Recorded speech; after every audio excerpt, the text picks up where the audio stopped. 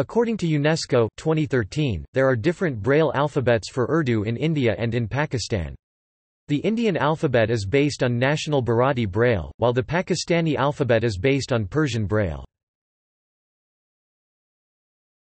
Topic: Differences from Persian and Bharati Braille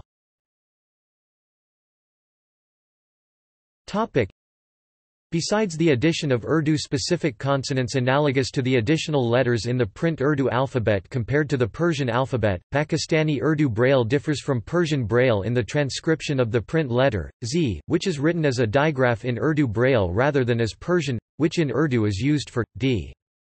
Indian Urdu Braille differs from other Bharati Braille alphabets in having several letters borrowed from Persian, such as, for QQ, Bharati Ks, for HH Bharati Jain, and, for, Bharati L.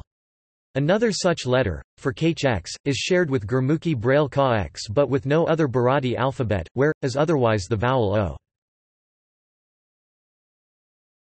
Topic. Alphabets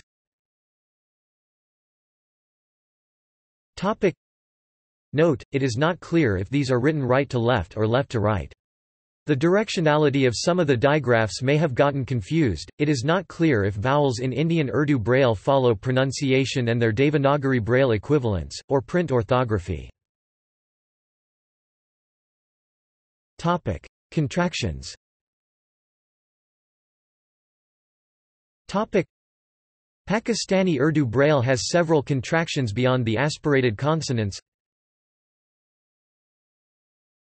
Ko, sa, na, wng, na, n, ya, la, b, a. Topic. Punctuation Topic. Basic punctuation in Pakistan is the same as in India. See Bharati Braille hashtag punctuation. Topic. See also Topic. Hindi Braille Punjabi Braille. References